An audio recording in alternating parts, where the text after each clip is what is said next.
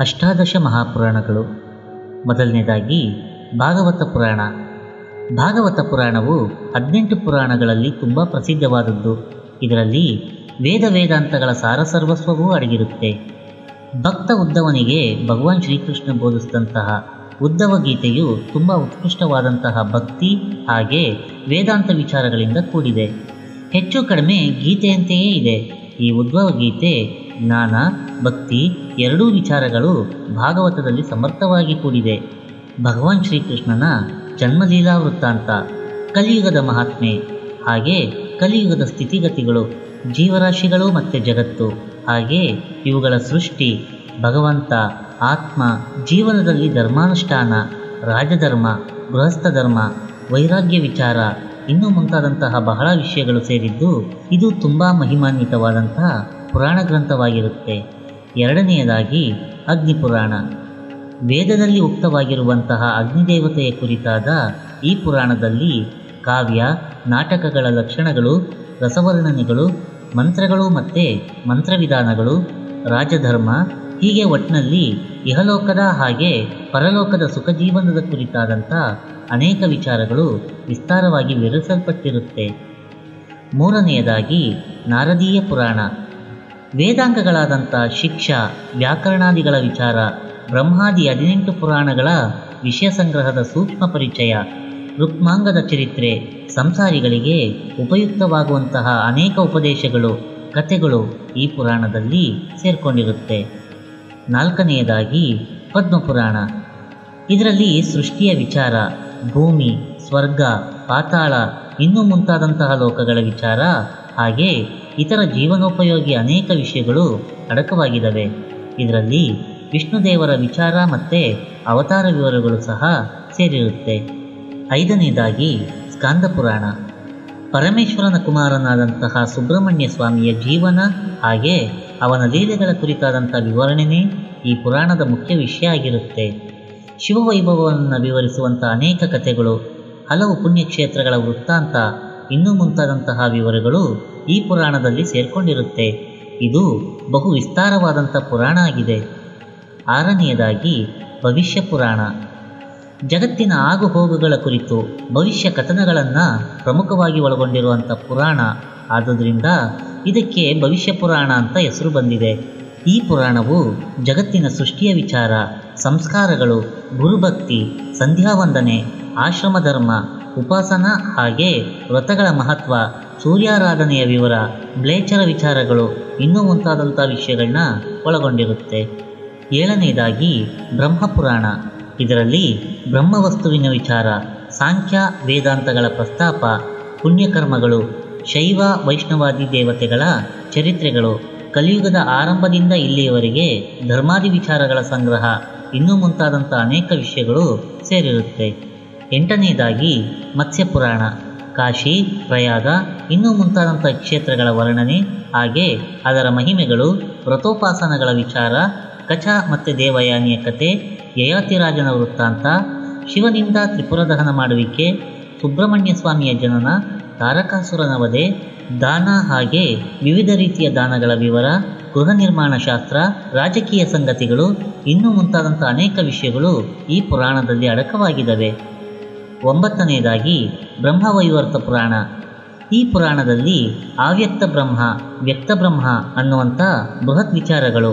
ಬ್ರಹ್ಮ, ವಿಷ್ಣು, ಮಹೇಶ್ವರ, ಪಾರ್ವತಿ, ಲಕ್ಷ್ಮಿ, ಸರಸ್ವತಿ ಇವರ ಅವತಾರ ಲೀಲೆಗಳು, ಜಗತ್ತಿನ ಸೃಷ್ಟಿ, ಇನ್ನೂ ಮುಂತಾದಂಥ ಅನೇಕ ವಿಷಯಗಳು ಸೇರಿರುತ್ತೆ. ಹತ್ತನೆಯದಾಗಿ ಬ್ರಹ್ಮಾಂಡ ಪುರಾಣ.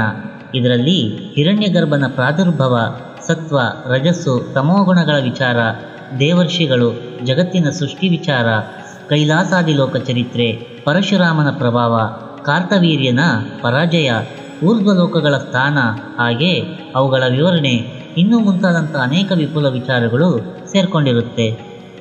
ಹನ್ನೊಂದನೆಯದಾಗಿ ವಾಯುಪುರಾಣ.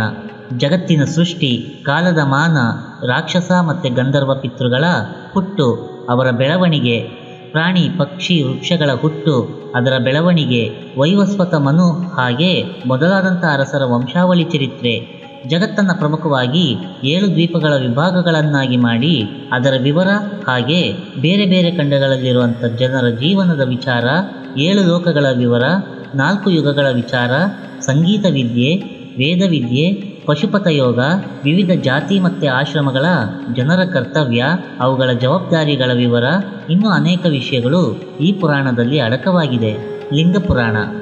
ಶಿವನ ಮಹಾತ್ಮೆ ಮತ್ತು ಲೀಲೆಗಳ ವಿವರಗಳು, ಲಿಂಗ ಮಹಿಮೆ, ಅಂದರೆ ಶಿವಲಿಂಗದ ವರ್ಣನೆ, ಲಿಂಗದಿಂದಾಗಿ ಉಂಟಾಗುವಂತಹ ಸೃಷ್ಟಿ, ಸ್ಥಿತಿ, ಸಂಹಾರ ರೂಪಗಳಾದಂಥ ಭಗವಂತನ ಲೀಲೆಗಳು, ದೇವ ಮನುಷ್ಯರ ವೃತ್ತಾಂತ ಲಿಂಗಮೂರ್ತಿಯಾದಂಥ ಪರಶಿವ ಪರಮೇಶ್ವರನ ಮಹಿಮೆ, ಇನ್ನೂ ಮುಂತಾದಂಥ ಅನೇಕ ವಿಷಯಗಳು, ಹಾಗೆ ಅದರ ನೀತಿ ಬೋಧೆಗಳು ಈ ಪುರಾಣದಲ್ಲಿ ವಿವರಿಸಲ್ಪಟ್ಟಿರುತ್ತೆ. ವಿಷ್ಣು ಪುರಾಣ, ಜಗತ್ತಿನ ಸೃಷ್ಟಿ, ಸ್ಥಿತಿ, ಲಯಗಳ ವಿಚಾರ, ಇಪ್ಪತ್ತೆಂಟು ವ್ಯಾಸರಗಳ ಚರಿತ್ರೆ, ವಿವಿಧ ಜಾತಿಯವರ ಆಶ್ರಮದವರ ಕರ್ತವ್ಯಗಳು, ಮರಣೋತ್ತರ ಕ್ರಿಯಾ ವಿಚಾರಗಳು ಕಲಿಯುಗದ ರಾಜವಂಶಗಳ ಚರಿತ್ರೆ, ಭಗವಾನ್ ಶ್ರೀಕೃಷ್ಣನ ವೃಂದಾವನ ಲೀಲೆ, ಜೀವನ ವೃತ್ತಾಂತ ಕಲಿಯುಗದಲ್ಲಿನ ಸ್ಥಿತಿಗತಿಗಳು, ಯೋಗದ ವಿಚಾರ, ಇನ್ನೂ ಮುಂತಾದಂಥ ಅನೇಕ ವಿಷಯಗಳು ಈ ಪುರಾಣದಲ್ಲಿ ಅಡಕವಾಗಿದ್ದಾವೆ.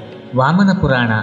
ಭಗವಂತನಾದಂಥ ಶ್ರೀ ಮಹಾವಿಷ್ಣುವು ವಾಮನ ಅವತಾರವನ್ನು ತಳೆದು ಬಲಿಚಕ್ರವರ್ತಿ ಐಶ್ವರ್ಯ ಮದವನ್ನು ನಾಶ ಮಾಡಿದಂಥ ಅವತಾರ ಲೀಲೆಗಳು, ದಾನವೀರನಾದಂಥವನ ಲಕ್ಷಣ, ಲೇಷ ಮತ್ತು ಜಂಬ ಇಲ್ಲದಂಥ ಶುದ್ಧ ಸಾತ್ವಿಕನ ಗುಣಸ್ವರೂಪಗಳು, ದಾನದ ಮಹಿಮೆ, ದಯೆ ಮತ್ತು ದಮನಗಳ ವಿಚಾರ, ಇನ್ನೂ ಅನೇಕ ವಿಷಯಗಳು ಈ ಪುರಾಣಗಳಲ್ಲಿ ಅಡಕವಾಗಿದ್ದಾವೆ. ಮಾರ್ಕಂಡೇಯ ಪುರಾಣ. ಈ ಪುರಾಣದಲ್ಲಿ ಜಗತ್ತಿನ ಸೃಷ್ಟಿ, ಭಾರತ ಭೂಮಿಯ ಭೌಗೋಳಿಕ ಪರಿಚಯ, ರಾಜರ ಅನೇಕ ವಂಶಾವಳಿಯ ಚರಿತ್ರೆ, ಇಂದ್ರ, ಅಗ್ನಿ, ಸೂರ್ಯ, ಬ್ರಹ್ಮಾದಿ ದೇವತೆಗಳ ಸ್ತುತಿ, ಅದರ ವಿವರಗಳು ಕೂಡ ಬಂದಿರುತ್ತೆ. ಸುಪ್ರಸಿದ್ಧವಾದಂತಹ ದೇವಿ ಮಹಾತ್ಮೆ ಅಥವಾ ಸಪ್ತಶತಿ ಅನ್ನುವಂಥ ಗ್ರಂಥವು ಈ ಪುರಾಣದಲ್ಲಿ ಸೇರಿರುತ್ತೆ. ಸತ್ಯಹರಿಶ್ಚಂದ್ರ ತನ್ನ ಮಕ್ಕಳಿಗಾಗಿ ಆತ್ಮಜ್ಞಾನವನ್ನು ಬೋಧಿಸಿದಂತಹ ರಾಣಿ ಮದಾಲಸ ನರಕದಲ್ಲಿಯೇ ಇರಲು ಇಷ್ಟಪಟ್ಟಂತಹ ನರಕದಲ್ಲಿರೋರನ್ನು ಉದ್ಧಾರ ಮಾಡಲು ಬಯಸಿದಂತಹ ವಿಪಶ್ಚಿತ, ಇನ್ನೂ ಮುಂತಾದಂತಹ ರಾಜರಾಣಿಯರ ಕಥೆಯು ಈ ಪುರಾಣದಲ್ಲಿ ಸೇರ್ಕೊಂಡಿದೆ. ವರಾಹ ಪುರಾಣ. ಭಗವಂತನು ವರಾಹಾವತಾರವನ್ನು ಎತ್ತಿ ಜಗತ್ನಲ್ಲಿ ಮಾಡಿದಂತಹ ದಿವ್ಯ ಲೀಲೆಗಳ ವಿವರ, ಸಾನಂದೂರ ಕ್ಷೇತ್ರ ಮಹಾತ್ಮೆ, ಇನ್ನೂ ಅನೇಕ ವಿಷಯಗಳು ಈ ಪುರಾಣದಲ್ಲಿ ಸೇರಿದೆ ಕೂರ್ಮ ಪುರಾಣ. ಚತುರ್ವರ್ಣದವರ ಕರ್ತವ್ಯ, ಜವಾಬ್ದಾರಿಗಳು, ಜೀವನಿಗೆ ಸಿಗುವಂತಹ ಮೋಕ್ಷ ವಿಚಾರ, ರೋಗ ರುಜಿನಿಗಳ ನಿವಾರಣೆ, ಹಾಗೆ ಅದರ ಉಪಾಯಗಳು, ಇನ್ನೂ ಮುಂತಾದಂಥ ವಿಷಯಗಳು ಈ ಪುರಾಣದಲ್ಲಿ ಸೇರಿರುತ್ತೆ. ಗರುಡ ಪುರಾಣ. ಶ್ರೀ ಮಹಾವಿಷ್ಣುವು ಗರುಡನಿಗೂ ಮತ್ತು ಗರುಡ ಕಶ್ಯಪನಿಗೂ ಉಪದೇಶಿಸಿದಂಥ ಉಪದೇಶಗಳ ಸಂಗ್ರಹವೇ ಈ ಪುರಾಣದ ಮುಖ್ಯ ವಿಷಯ ಆಗಿರುತ್ತೆ. ಆಚಾರ ವಿಚಾರಗಳು, ದೇವ, ಅಸುರ, ಗಂಧರ್ವರ ವಿಚಾರ, ಸಾಕಾರ ಮತ್ತು ನಿರಾಕಾರವಾದಂತಹ ಬ್ರಹ್ಮನ ಅನುಸಂಧಾನ, ಕ್ರಿಯಾಯೋಗ ಆತ್ಮತತ್ವ ನಿರ್ಣಯ ಜ್ಯೋತಿಚ್ಛಂದೋ ವ್ಯಾಕರಣಾದಿ ವಿಷಯಗಳು, ಮರಣ, ಮರಣದ ನಂತರ ಜೀವಾತ್ಮನ ಯಾತ್ರೆ, ಪ್ರೇತ ವಿಚಾರ, ಪಿತೃಗಳ ವಿಚಾರ, ನರಕದ ವರ್ಣನೆ, ಪಿಂಡ ಶ್ರಾದ್ದಾದಿ ವಿವರಗಳು, ಪಿತೃದೇವತಾ ಪ್ರಸಾದಕ್ಕಾಗಿ ಯತ್ನಿಸುವಂತಹ ವಿಧಾನ ರೋಗ ಚಿಕಿತ್ಸೆ ಮೊದಲಾದಂಥ ಅನೇಕ ವಿಷಯಗಳು ಈ ಪುರಾಣದಲ್ಲಿ ಸೇರಿರುತ್ತೆ. ಪುರಾಣ ಶಬ್ದದ ಉಲ್ಲೇಖ ಬೃಹದಾರಣ್ಯಕ ಉಪನಿಷತ್ನಲ್ಲಿ ಬರುತ್ತೆ. ನಾಲ್ಕು ವೇದಗಳು, ಇತಿಹಾಸ, ಪುರಾಣ, ಇನ್ನೂ ಮುಂತಾದವು ಪರಮಾತ್ಮನಿಂದ ಹುಟ್ಟವು ಅಂತ ಅಲ್ಲಿ ಪ್ರಸ್ತಾಪಿಸಲಾಗಿದೆ. ಹಾಗೆ ಇತಿಹಾಸ, ಪುರಾಣ ಅನ್ನೋ ಐದನೇ ವೇದ ಅನ್ನೋ ಅಂಥದ್ದಾಗಿ ಹೇಳಿರೋದು ಚಾಂದೋಗ್ಯ ಉಪನಿಷತ್ತಿನ ನಾರದ ಮತ್ತು ಸನತ್ಕುಮಾರರ ಸಂವಾದದಲ್ಲಿ ಕಂಡುಬರುತ್ತೆ. ಪುರಾಣಗಳು ಮಾನವನಿಗೆ ಬದುಕಿನಲ್ಲಿ ಶಾಂತಿ ಮತ್ತು ಪರಿಪೂರ್ಣತೆಯನ್ನು ಪಡೆಯೋದಕ್ಕೆ ಸರಳ ಅನುಷ್ಠಾನ ಹಾದಿಯನ್ನು ಹೇಳಿರುತ್ತೆ. ನಮ್ಮ ಜೀವನದಲ್ಲಿ ಧಾರ್ಮಿಕ ಹಾಗೆ ಸಾಮಾಜಿಕವಾಗಿ ಮೂಡಿಬರುವಂಥ ಅನೇಕ ಕಠಿಣ ಸಮಸ್ಯೆಗಳಿಗೆ ಕಥೆಗಳ ಮತ್ತು ಆಖ್ಯಾನದ ರೂಪದಲ್ಲಿ ಸುಲಭವಾದಂಥ ಪರಿಹಾರಗಳನ್ನು ಪುರಾಣಗಳು ನೀಡಿದೆ. ಮತಧರ್ಮದ ದೃಷ್ಟಿಗಳಿಂದ ಕೂಡಿದಂಥ ನಮ್ಮ ದೇಶದಲ್ಲಿ ಪುರಾಣಗಳಿಂದಾಗಿ ಧಾರ್ಮಿಕ ಐಕ್ಯತೆ ಉಂಟಾಗೋದಕ್ಕೆ ಪುರಾಣಗಳು ವಹಿಸಿದಂಥ ಪಾತ್ರ ನಿಜಕ್ಕೂ ಗಣನೀಯವಾಗಿರುತ್ತೆ. ಈ ಪುರಾಣಗಳನ್ನೆಲ್ಲ ಕ್ರೋಢೀಕರಿಸಿ ಅವುಗಳಿಗೆ ವ್ಯವಸ್ಥಾಬದ್ಧವಾದಂಥ ಗ್ರಂಥ ಸ್ವರೂಪವನ್ನು ನೀಡಿದವರು ಪ್ರಾತಸ್ಮರಣೀಯರಾದಂಥ ಮಹರ್ಷಿ ಶ್ರೀ ವೇದವ್ಯಾಸರಾಗಿರ್ತಾರೆ